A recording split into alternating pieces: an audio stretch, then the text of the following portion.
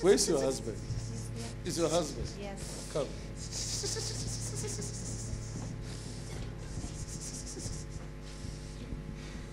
You need to pray for this man. Amen. You understand? Amen. Because what you are going through is very tough in the house. There's no provision. You are praying for supply. Amen. It's not true. It's true. It's You true. can talk. It's true.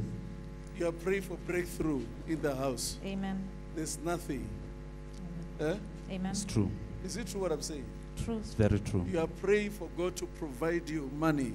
You want money to change everything in the house. Amen. Whatever true. you have there is very old things. Yes. It's not true. It's It is true. Now you want to change everything. You want to change even this bed.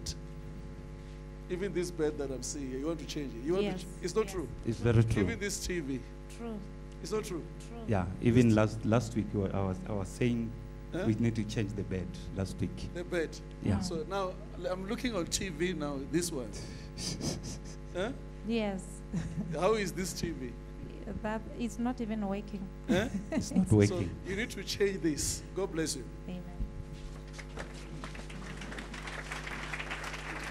I, it's like I'm speaking with people who are looking at me and say, hey, yeah, hey. I don't want to professor and uh, uh, can't you prophecy is the best thing? Can you say in the name of Jesus? That is the best thing. Say in the name of Jesus. In the name of Jesus. Say in the name of Jesus. in the name of Jesus. Listen, where is that brother I was speaking with? Where is he? The brother I prayed for. Because I was, you know why I prayed for you? I want to tell you. I heard people laughing at you. These people are laughing at you. They say you're going nowhere. And you are trying to make yourself a pastor. So now they will understand that the calling of God changes everything. My God. My God. They, they will, they will understand. I am Pastor Sydney Balisi. Uh, the woman standing beside me is my wife. We are from Botswana, Gaborone.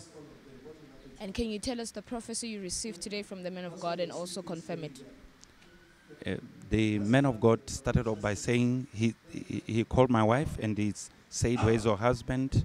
After which, when after she has called me, he uh, he talked about there being a problem in the house, uh, that uh, there is lack in the house, and he also talked about uh, issue of money, lack, lack in the house, of which we confirm that it is true because and then he talked about issues of money uh, because we have been for the last even two years we have been trying to sell uh, our house so that we can improve our lives our our livelihood. And also this year we wanted to sell even two of including where we are staying so that we can build a better house. But for the last two years nothing has been moving.